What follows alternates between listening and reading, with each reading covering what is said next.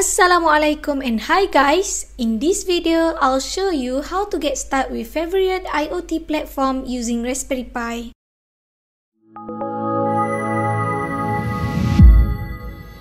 I'm using Raspberry Pi 0WH, Maker pHAT and DHT22 temperature sensor. You can refer to displaying sensors data on Blynk app using Raspberry Pi tutorial on how to connect the hardware and install the sensor library. Then, login to Favoriot IoT platform. Follow these 4 basic steps to start with it. Number 1. Choose View Projects. Click Create Project, fill in the required information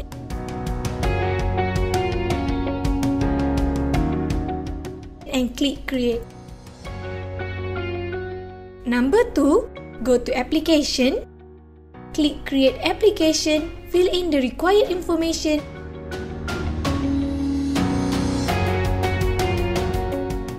and click create. Number 3, go to groups, click create group, fill in the required information and click create.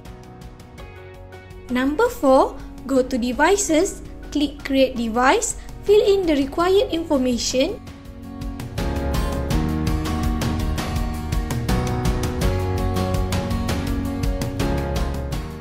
insert the longitude and latitude of the device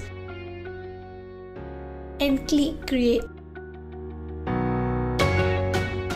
Next, we go for the Raspbian part. Please make sure that you are using the latest and updated operating system. Open Python 2. Use the sample code that we have shared in our tutorial.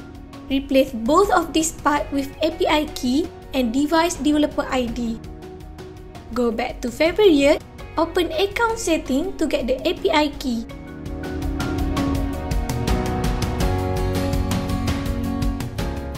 Then, go to Devices to get the device developer ID.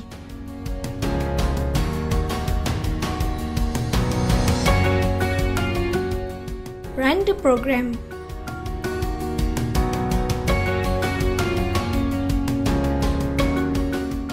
This sample code allow the Raspberry Pi to read the temperature and humidity and then send the data to the Favoriot every 2 seconds.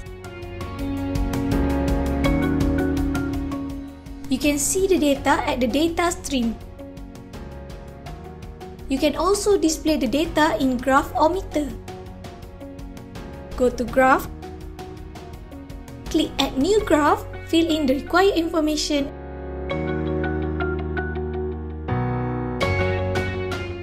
and click create.